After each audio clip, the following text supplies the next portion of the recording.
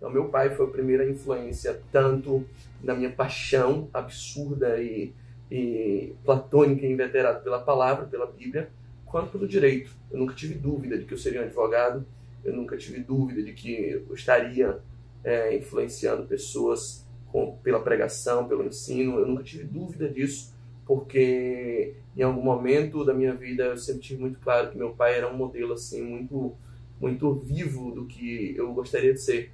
Essa influência para mim foi muito muito boa.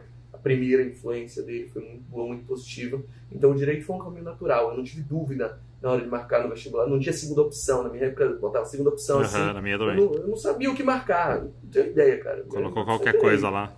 É, botei qualquer coisa, artes cênicas, música, sei lá, mas eu não, não, não tinha essa nenhuma pretensão nisso. Minha, minha pegada era o direito.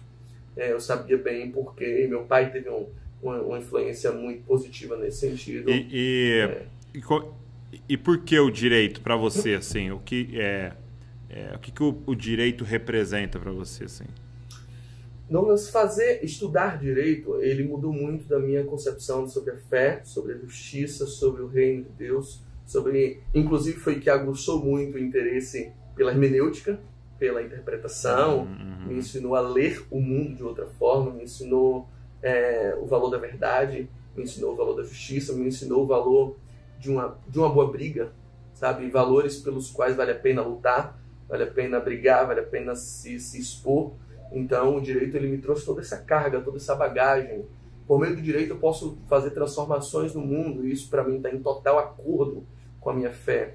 Uma das grandes perguntas que eu recebo é: cara, cristão pode mesmo fazer direito? Cara, eu ia te Normalmente perguntar isso. Como é que é um cristão advogado, um advogado Normalmente cristão? respondo que deve fazer direito, sabe?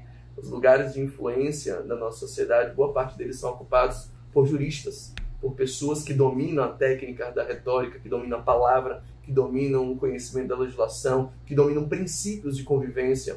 Então, quando esses lugares, que hoje, em boa parte deles, são ocupados por homens iníquos, por homens impiedosos, por homens sem qualquer compromisso com o poder da palavra, com o reino, quando esses lugares começam a ser ocupados por pessoas é, é, nascidas de novo, por pessoas comprometidas por princípios, a gente tem mecanismos, a gente tem faca, a gente tem o que? A gente tem um princípio e um fim para a transformação da nossa sociedade, para a implementação, para o adiantamento do reino futuro. Uhum, uhum. É, eu gosto de dizer, já, já, já dei esse exemplo para você uma vez, que o lugar onde eu mais me sinto, assim, sabe quando a gente sente, cara, o Espírito Santo tá aqui, eu tô servindo a Ele de forma poderosa, é, o lugar onde eu mais sinto ser usado pelo Espírito Santo, não é no púlpito, não é quando eu tô orando por alguém, não é, não é nessas atividades eclesiais, é quando eu tô no meu escritório, e muitas vezes eu tô atendendo um casal, que diz, cara, não dá mais, a gente quer separar.